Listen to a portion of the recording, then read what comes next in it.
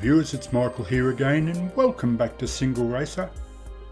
Now when I watched the video of Alex over at the Extra Mile announcing the very first uh, online race in Assetto Corsa for all his subscribers that wanted to join in, I actually had to be part of that uh, event, even though it meant uh, missing some of my much needed beauty sleep and staying up a little bit later than my old body can handle just to be in this race.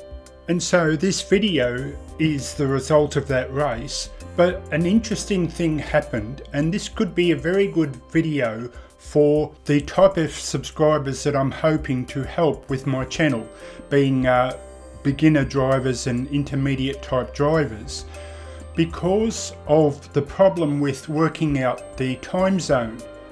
So Alex told me in one of the comments that it'll be from Germany uh, in the European time zone, which when I tried to work out the difference between there and Australia, it turned out to be the standard uh, 10 hours difference, uh, the same as the US. But in a second video, he specifically said Central European, so I double checked but uh, realised too late that it was actually nine hours difference. Uh, there was a general mix up with a lot of subscribers probably thinking that anyway, but what happened was I came into the race virtually as uh, a lot of the practice was over and barely got any qualifying.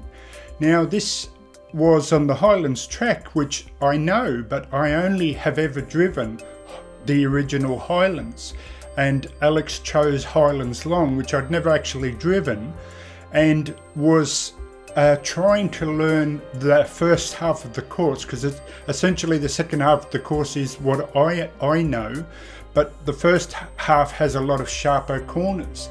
So I was doing terrible and realized that where this might help beginners uh, especially is because I wasn't even listening to my own rule. You know, it's one thing to have a set of rules for your own uh, racing knowledge, but it's another thing to apply them.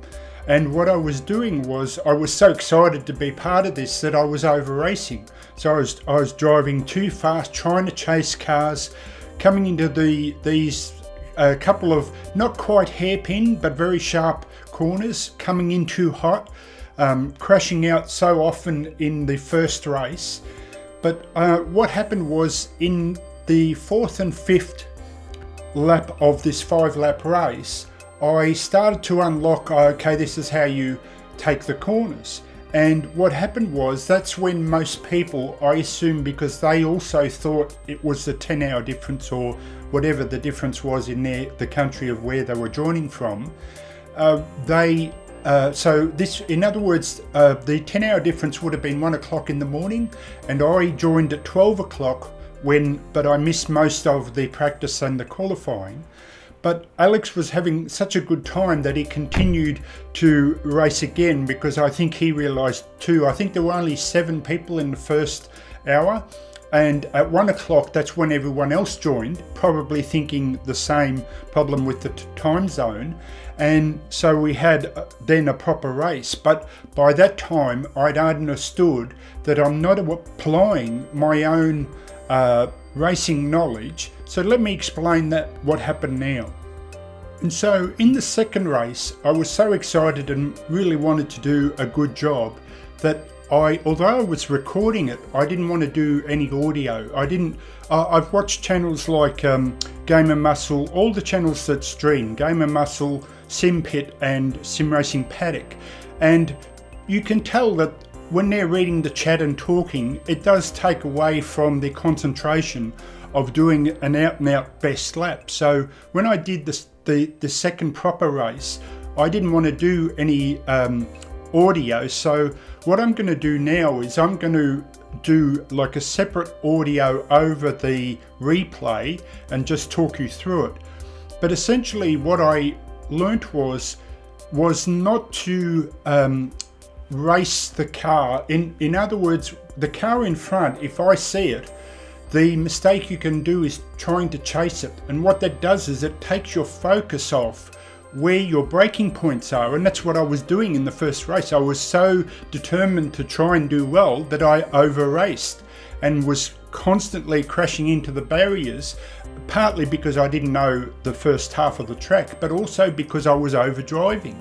So, with the second chance and with everyone joining um, at the later time, I thought I've got to uh, do my own mantra and learn from my mistake and drive within myself but smoothly. And so, what this uh, five lap race will show is how I've slowed it down again, slow in, fast out, and did very steady driving based on the fact that instead of seeing the car in front and trying to race the car, I would only race a car if it was in the zone where we were so close that we could race and the rest of the time concentrating on where my braking points are, coming into the corner at the correct speed to get maximum speed out of the corner and I had a much much much better race.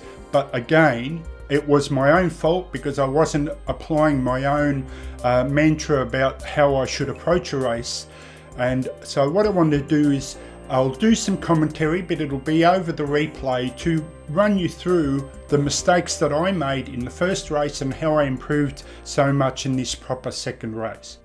And so this is Michael signing out for Single Racer and let's go racing, going the extra mile.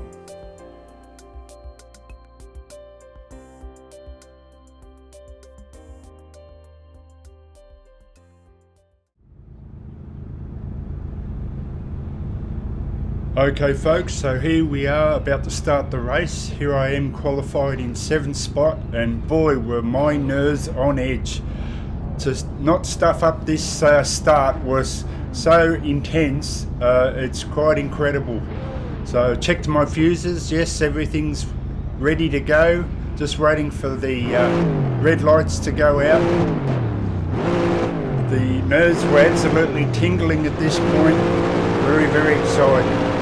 Just don't stuff this up, Mick. So there we go. And you just want to give racing room here. So this is the first part of the track that I'd never raced before. And luckily we had the previous race, but I almost stuffed it up. But I wanted to give all the other drivers racing room. I figured at this point, if anyone is catching me I didn't want to muck anyone else's up, uh, race up, so this was the first corner that I had a lot of trouble with gauging how much speed I needed to come into the corner. So I was constantly watching, especially um, the in the mirror, watching where the cars were beside me like this and giving them room uh, just because I was less familiar with the track and just wanted didn't want to stuff their race up. So here we are side by side. Extremely intense, but just holding my position and just trying to hang on.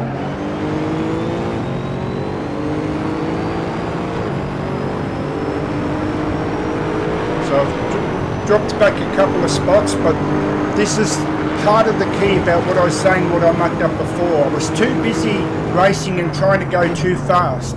So now it was all, all about realising my mistake, saying, what are you doing, Mick? You know, you, you have these rules in place, apply the rules. So that was just let the cars go, focus on the line into the corner. So there's one car gone, I've already gained a spot. Just focus on the braking points and ignore the cars in front. Don't race them. Don't try and catch them because what you do is you're so focused on the back of that car that you miss your braking point. And so just try, uh, you know, this is the long straight now, but as I come up to the second half now where uh, this must connect up to the normal highlands and uh, from here on I know where I'm going, but it was all about just making sure, watch the mirrors and realise where my own braking point was, not how I was doing to the car in front and brake correctly and come in nicely for the corner. There's another car gone. Again, beautiful. So this was the lesson that I had to learn from the first race, overdriving. So now all the other cars are overdriving, trying to go too hot, and all I'm focused in is do a good lap, Mick, do a good lap. hit your braking point, come in nice and tight. If you are fast enough, you'll catch them anyway, and just focus in on better driving.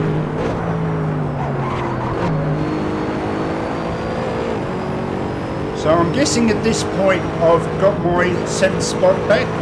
Um, it says six, I think, down the bottom. So I'm not, sure but I always thought that that was you had to cross the start-finish line to get the accurate uh, figure. I didn't think that was uh, uh, uh going as you drove, so I'm not sure about that.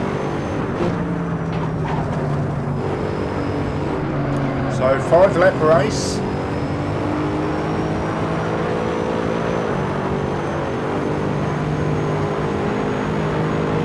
So now we're starting to feel comfortable. I just didn't need to muck. This was the hardest corner I was worried about. I, in Whenever I raced this track, that was the corner I tended to muck the, the most up just because it was so sharp and you had to kill so much speed. And now I'm starting to feel more comfortable. Now I'm starting to feel like I could stretch my legs and try and race a little bit. But again, the, for beginners, the focus is, so what, what I say about my mantra is the car is not close enough to technically race. And so the mistake you can make is you lock your eyes onto the car and you miss your braking points. So you don't look at the car, you look at where you want to brake. And then what happens is if I'm lucky enough to catch the car, when it comes into the zone where I can actually hit it, that's when I start to race the car or position myself to race the car rather than focusing on the car and missing completely your braking point, that's when you hit the barriers all the time. So it was a great lesson that I needed to learn again myself in that first race. So if the car pulled away, that's fine, he's faster than me, but just concentrate on my own braking points and let's see how it goes. So this was a key one because I didn't know I could take this flat out and so that was one of the things in the first race that helped me understand that I could go through that whole uh, set of corners uh, flat out.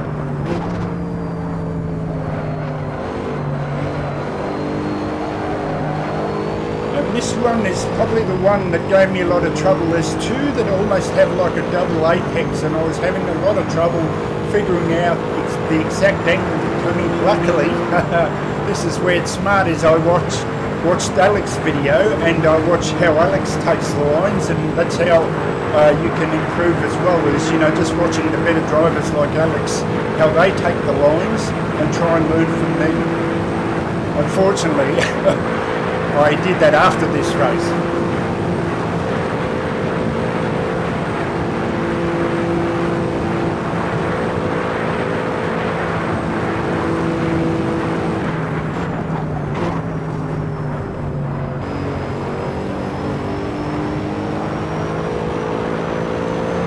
What's interesting now is we're settling into all the drivers seem to be now finding their position. So I'm not gaining and this is the one aspect that I say over and over for beginner drivers is have your track map on. See at the top, I'm constantly looking at the top and not so much about the car in front but I can see how far the car is behind me and that helps me tremendously to take the pressure off it's like one less thing I have to worry about.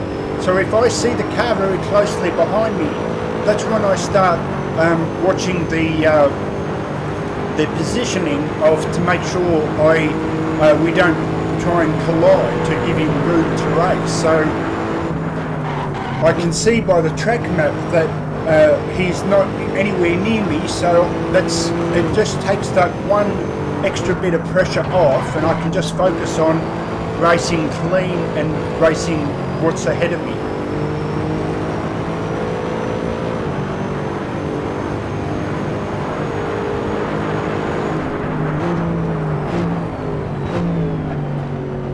Now, can I overtake him? Now, what I'm trying to do here is to put pressure on him. I don't want to hit him. I don't want to make a risky move. All I want to do is put pressure on the guy and see if he caves under the pressure, right? And there he goes. And that's the exact reason that you don't take risks which uh, unfortunately I was doing in the first race, and this is what I mean is um, that I wasn't applying my own rules and suffering because of it. So it was a great lesson for me to re-establish those things to say, Mick, you do those things for a reason, learn from your mistakes and try and improve. And I had this much better race. Now I'll speed this up just for the sake of there's not much happening in this lap. So let's speed it up a little.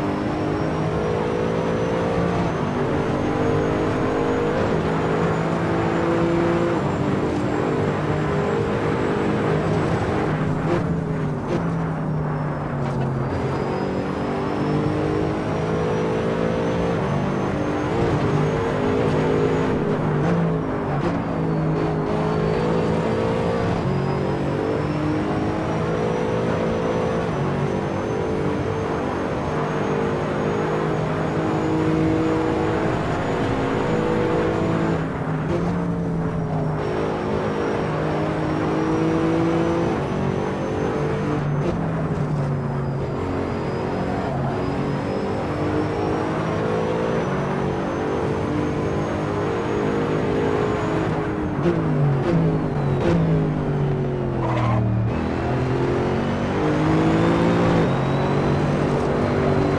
so here we go for the last two laps of the race, and this is where I agonise uh, trying to decide over what you generally might call racecraft, because I've settled in, I've got a long way to the car in front, so it's unlikely that I'm going to catch him unless he makes a mistake, and I've, I've even the, the car behind me is close, I'm at a nice rhythm.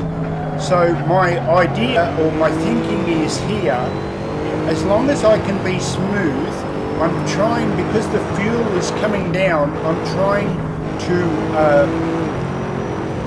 break each lap a record, like be faster each lap, but as long as I'm smooth. So the same braking points, the, the same uh, speed into the corners, but because of a lighter car, uh, providing your tyres don't go, you should be trying to then just improve little by little on, uh, on your lap time. So I want to see now, I think this is where I do my best lap time for the race. So we'll see how we go. Now all I want to do is be smooth here. So I'm constantly looking for the spots where to brake, not to carry too much speed, but still that's a terrible corner, gee.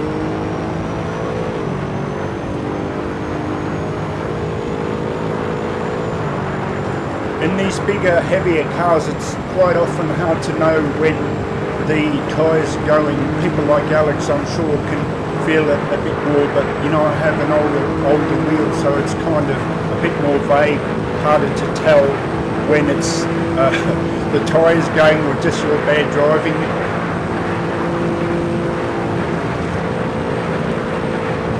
The other thing I didn't get much of a chance to do is set up the car. I mean, I don't know how to set up a car anyway, but even just to improve the gears a little bit, this is, I'm basically driving uh, it's a tuned car, but you know, just uh, for the Nordschleife actually. So it's probably got all the wrong settings for this track. I just grabbed my Nordschleife settings and hoped that it would work on this track. So this is a beautiful corner to get right. I love coming out of this bit, the, these last few corners, this jump over here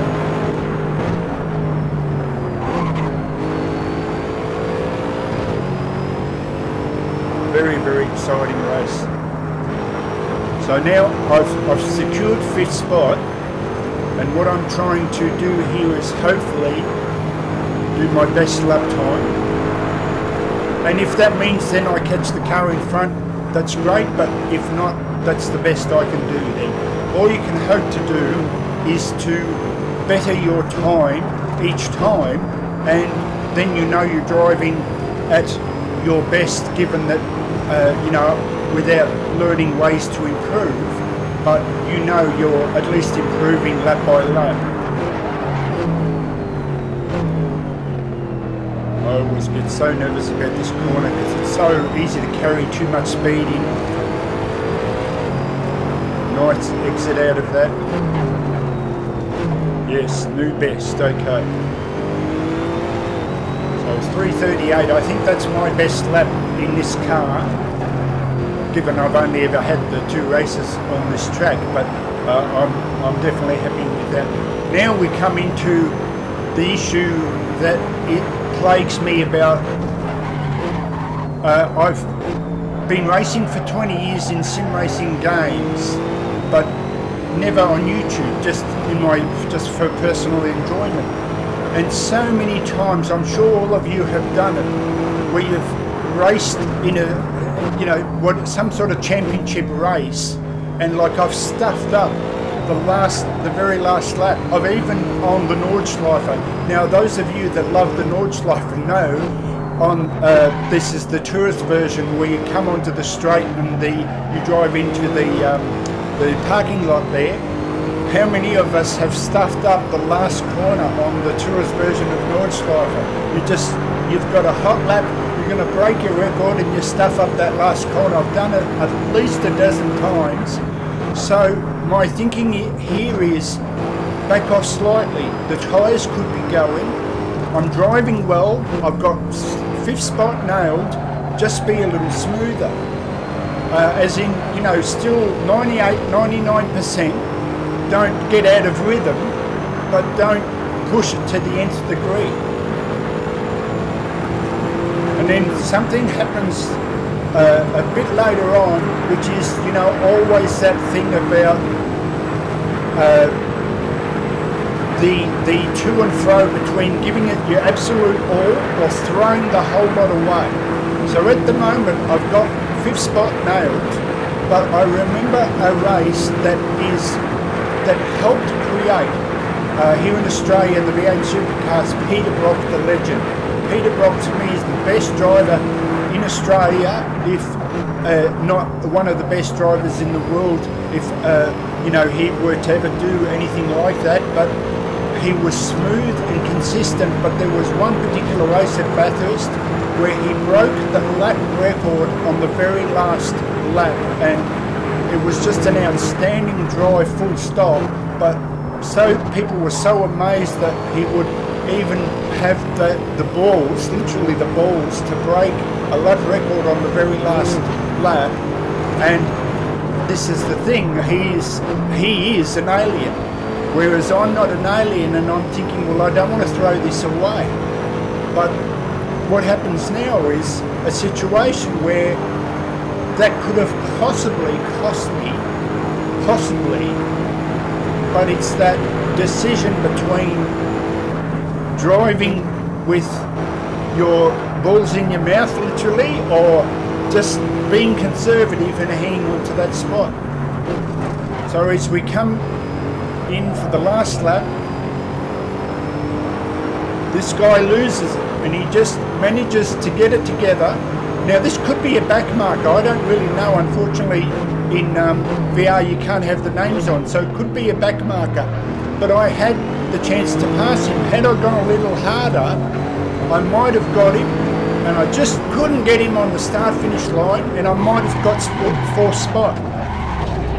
But here's me finishing the race. Now, I bumped into him just because we're all uh, stopping anyway. And just, I wasn't concentrating. But here we are, and I've managed to hang on to fifth space, uh, fifth spot. And this is the argument about I'm so excited I got fifth spot. Beautiful. Let's just double check that. Yes. Here we go, fifth spot, beautiful. Or do I throw the whole race away by going too hard and, uh, you know, just ruining the whole race? So that was such an exciting race. I'll sign off now. Until next time, uh, this will be an ongoing thing. Hopefully, uh, Alex at, over at the Extra Mile says. So I'm really excited to see what the next race will be. And uh, as far as I know it's uh, more like a cruise like a drifting kind of thing which I'll be just as excited to be in. So this is Michael signing out. I'll catch you next time. See you later